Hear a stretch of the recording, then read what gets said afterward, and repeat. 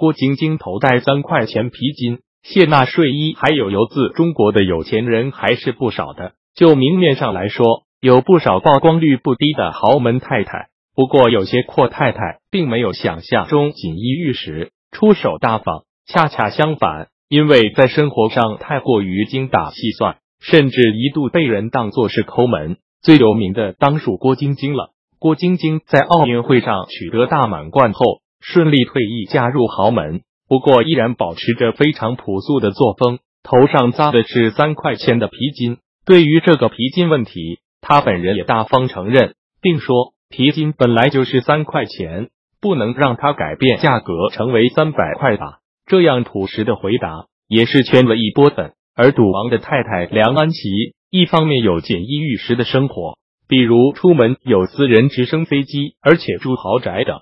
但有一些细节仍能看出他勤俭持家的一面，比如到现在还是用着按键的老年机，过期的化妆品也会留着用来擦手。女首富陈丽华曾经在访谈节目里谈到自己一天只花十块钱，最爱吃的还是一些非常便宜的家常便饭，而且也没有别的不良嗜好。虽然对于自己抠门，但对于别人还是非常大方的。而不光是这些豪门的阔太太们，有些演艺圈的明星也是以勤俭持家为名。其中最值得一提的就是谢娜了。谢娜虽然是湖南卫视非常有名的主持人，但有些细节还是看出来她非常勤俭的。有次录节目穿了自己睡衣，不仅裤腿有一只因为穿得太久已经没了松紧，仔细看的话还会发现上面还有一些油渍。即便是这样。他也不愿意去换睡衣。工人家庭出身的赵丽颖，